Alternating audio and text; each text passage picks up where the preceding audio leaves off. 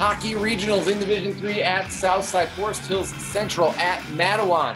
After a scoreless first, the Rangers get it going in the second. Noah Smith in front, Anthony Ott with the finish. One zip FHC. Minutes later, Rangers on the power play.